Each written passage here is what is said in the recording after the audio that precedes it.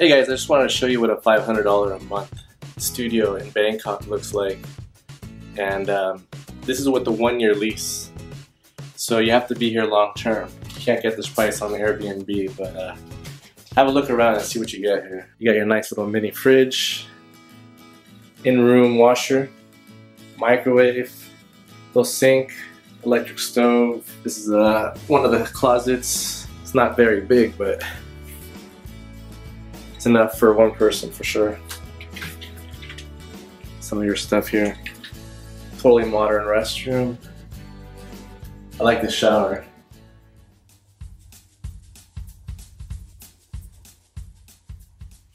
Another uh, drawer here for your clothes.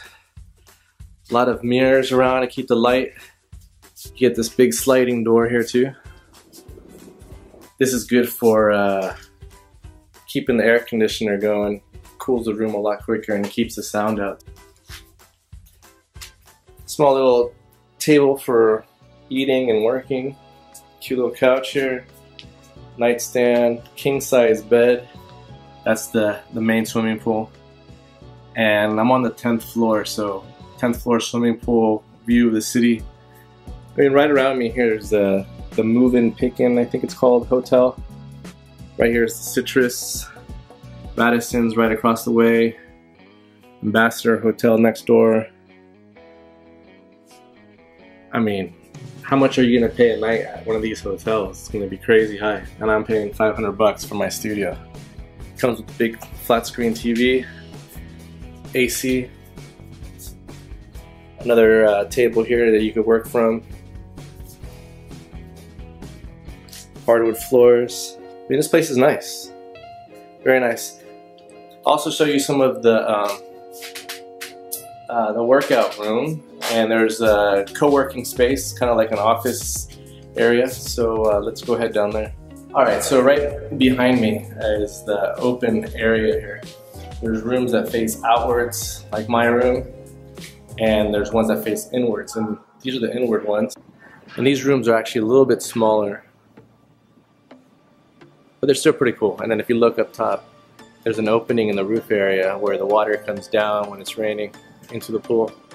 And it's a really shallow pool, it's just for decoration. I just got caught outside in the rain. Check it out.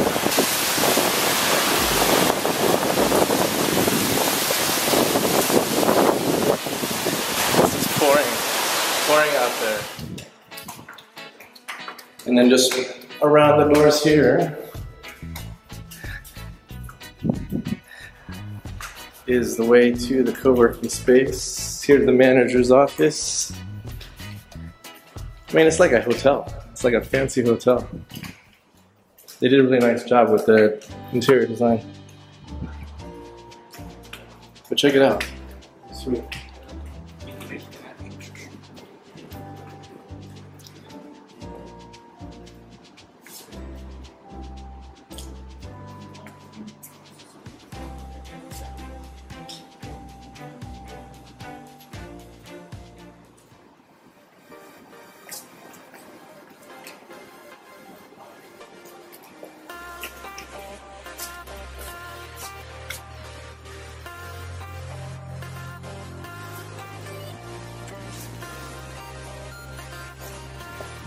Then it's got this little uh, kids room, yoga room, whatever.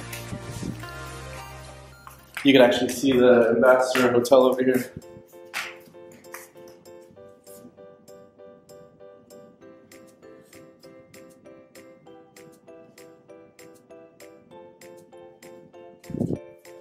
All right, let's go. Have a look at the gym area now.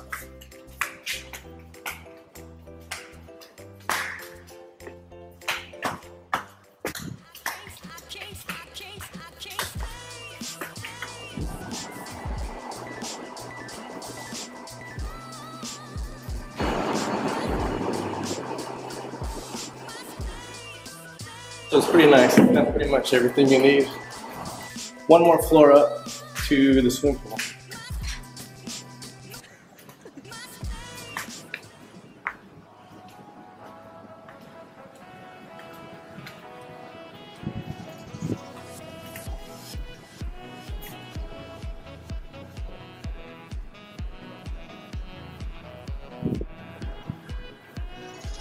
I mean, how awesome is that? And then you saw my room. My room's got the swimming pool view. It's actually this one here. You can have a look at the building here.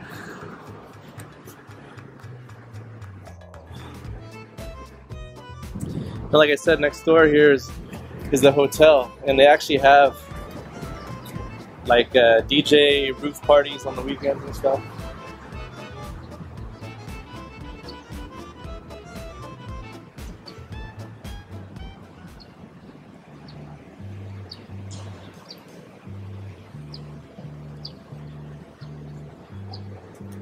All right, maybe I'll show you one last one last view over here.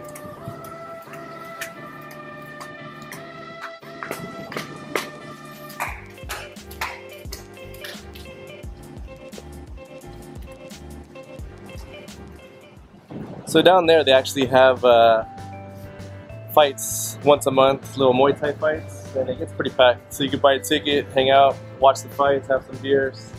So that's pretty fun. Like I said, this is the Ambassador Hotel. It's huge. It starts from over there, stretches across, comes up here.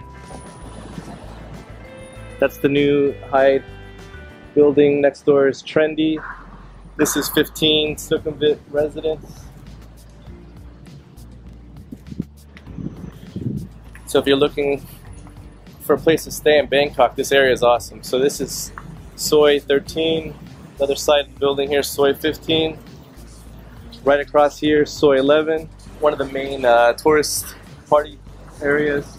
A lot of restaurants, bars, a lot of night nightlife activity, and dance clubs. But that's it. I hope you liked my little tour. $500 studio. Seriously. I mean, how much would something like this cost in San Francisco? I don't even want to guess. But um, it's totally worth it. So if you get a long-term stay in Thailand, get a lease, get an apartment, and you'll be a happy camper. Peace.